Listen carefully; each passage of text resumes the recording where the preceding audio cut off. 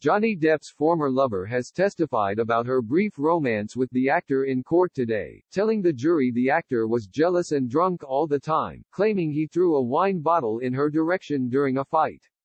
Johnny Depp's former lover Ellen Barkin told the court today that the actor was jealous and drunk all the time, claiming he once threw a wine bottle in her direction during a fight. The actress testified in Johnny's defamation trial against Amber Heard.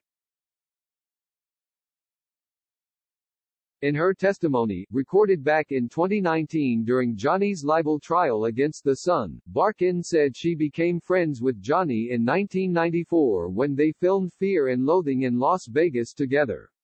She said their relationship turned sexual and they would met up several times a week.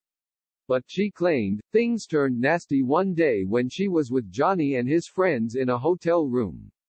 Barkin told the court Johnny got into an argument with one of his friends. And she claimed he threw a wine bottle across the room. Barkin said the bottle didn't hit anyone, but claimed it was thrown in the direction of her and his friends. She also described him as just a jealous man, controlling. Where are you going? Who are you going with? What did you do last night? She claimed he would ask.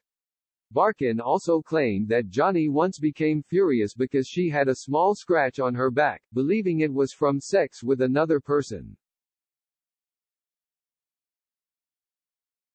He got very angry as he insisted that it came from someone I must have had sex with that wasn't him, she testified.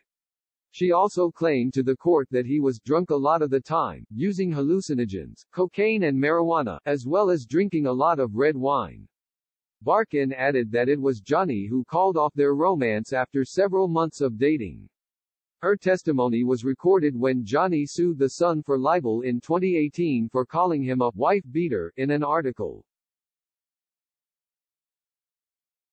A case he eventually lost in 2020. Meanwhile, Bruce Witkin, a musician who was friends with Johnny for nearly four decades, also took to the stand in a video deposition today.